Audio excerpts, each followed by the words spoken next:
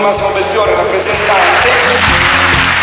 La CIC eh, Gundam Italia Community che ci anche quest'anno sempre vicino a un speciale soprattutto nel trentesimo anniversario.